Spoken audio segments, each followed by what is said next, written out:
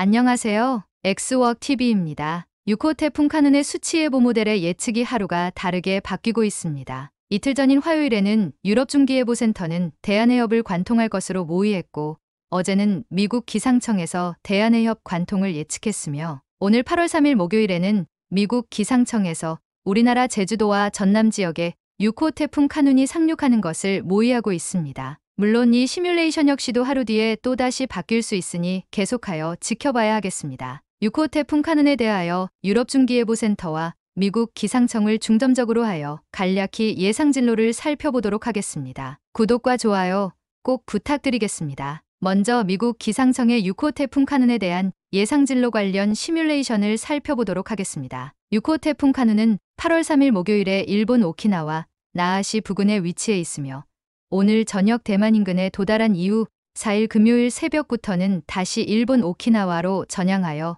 북상하고 있습니다. 8월 8일 화요일까지의 진로를 살펴보면 일본 오사카와 도쿄 방향으로 북상하는 것처럼 보였지만 8월 9일 수요일 오전부터 갑자기 전향하여 대한해 협 방향으로 북상하고 있습니다. 그리고 놀랍게도 8월 10일 목요일 오전에는 일본 도카라 열도와 제주도 턱밑까지 도달하여 있습니다. 이것은 우리나라에는 매우 안 좋은 시그널인데요. 하지만 이후에 8월 11일 금요일 오전에 다행스럽게도 중국 상하이시와 산둥반도 방향으로 전향을 하고 있었는데 8월 12일 토요일 새벽에 다시 한번 전향하여 한국 제주도와 전남 지역에 상륙하는 것을 모의하고 있습니다. 이번에는 유럽중기예보센터의 6호 태풍 카눈에 대한 예상 진로를 살펴보도록 하겠습니다. 유럽중기예보센터는 6호 태풍 카눈에 대하여 어제와 비슷한 예상 진로를 예측하고 있습니다. 오늘 3일 목요일 저녁에 대만 인근에 도착한 6호 태풍 카누는 4일 금요일 저녁 늦게부터 다시 오키나와로 전향하여 북상하기 시작하며 8월 7일 월요일 새벽에는 규슈 가고시마현 인근에 도착하고 8일 화요일 새벽에 시코쿠 섬과 오사카를 지나치며 8월 9일 수요일 오후에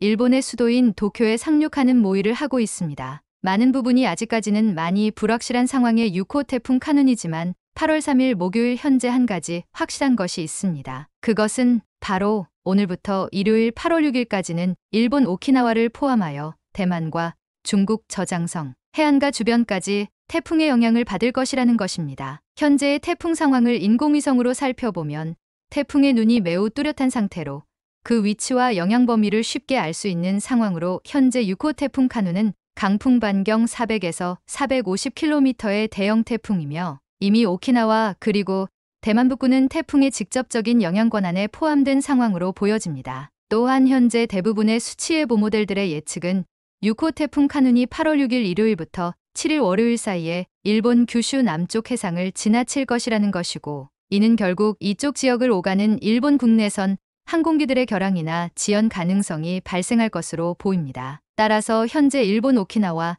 나하 국제공항의 결항 사태는 8월 7일 월요일 오후 늦게부터 8일 화요일 오전 정도까지는 모두 해제될 것으로 보입니다. 일기도를 살펴보면 현재 우리나라의 대기 하층에서부터 상층 500헥토파스칼 영역까지 고기압이 뒤덮고 있으며 이 고기압 세력으로 인하여 6호 태풍 카눈이 중국 상하이 방향이나 우리나라 서해안 방향으로 올라오는 것을 막아주면서 태풍이 8월 3일 목요일 매우 천천히 느린 속도로 대만으로 향하고 있는 상황으로 보여집니다. 현재 상황을 종합적으로 바라봐서는 일본이나 한국에 상륙할 것이 확실시 되어 보이며 현재까지 수치예보 모델들의 시뮬레이션을 토대로 생각해 본다면 첫 번째 예상 경로는 일본 오사카 혹은 도쿄에 상륙하는 것이고 두 번째 예상 경로는 일본 규슈를 관통한 후에 대한해협을 따라 북상하는 것이고 세 번째 예상 경로는 도카라 열도를 따라 북상하여 제주도와 전남 지역에 상륙하는 것을 예측해 볼 수 있습니다.